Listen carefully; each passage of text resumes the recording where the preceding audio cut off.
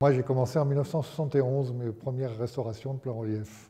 Il y avait déjà euh, quelqu'un qui était là quand je suis arrivé. On était deux pendant un bon laps de temps, personne qui est parti à la retraite et qui m'a appris certaines techniques euh, anciennes. Donc, euh, moi, j'étais maquettiste à l'extérieur avant, mais, il y a toujours eu un restaurateur euh, depuis la guerre. En principe, les techniques, souvent, si c'était abîmé point de vue, point de vue des, des, champs ou des choses comme ça, souvent c'est un grattage et un reflocage avec la soie naturelle. Les maisons, pareil, hein, c'est repris. Si à partir du moment où il y a les plans, on peut refaire une maison, on peut refaire un quartier. Le tout, c'est d'avoir les plans d'époque. Donc s'ils avaient les cahiers de développement ou les plans, ils pouvaient refaire les maisons abîmées ou les toits ou tout avec la même technique de construction, comme on prend la même technique maintenant pour les restaurer.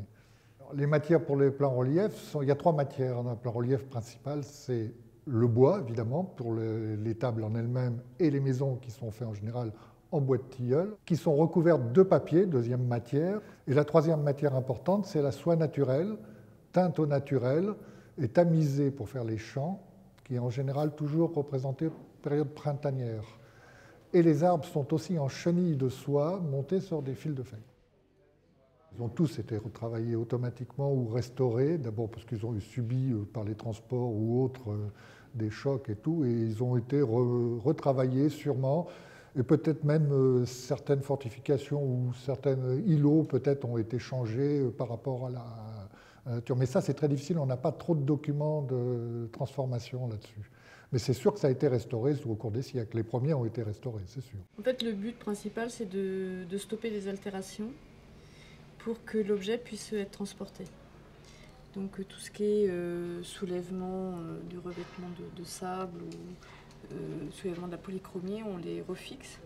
On a toujours les mêmes techniques, que ce soit pour des sculptures ou des plans reliefs on va euh, privilégier la réversibilité, on utilise des matériaux réversibles, euh, la lisibilité de la restauration ou de la conservation, c'est-à-dire qu'il faut que ce soit quand même un peu euh, visible. Jusqu'à il y a 10 ou 15 ans, on pouvait faire une restauration complète comme on faisait à l'époque, c'est-à-dire refaire des maisons qui manquent, si on a les plans évidemment, regratter des soies et les refaire, puis après, on est passé dans une période de dérestauration, c'est-à-dire qu'on ne touchait plus à ça. Et est arrivée une autre technique qui a commencé un petit peu avec moi, c'est la technique du laser qui permet de désincruster la poussière, puisque la poussière s'incruste dans la soie par les années il n'y a pas d'autre technique à part le grattage, donc le laser désincruste la poussière de la soie sans toucher à la fibre de la soie, ce qui est une révolution pour la restauration de les soies. Je crois que même si on ne connaissait pas, à partir du moment où on commence à rentrer dans, les maquettes, c'est une passion. En plus, après, on a fait de la photo et tout ça, on, découvre des tas de choses, îlot par îlot, quartier par quartier. Euh, c'est quand même assez extraordinaire comme, euh, travail, hein, et on se passionne assez vite.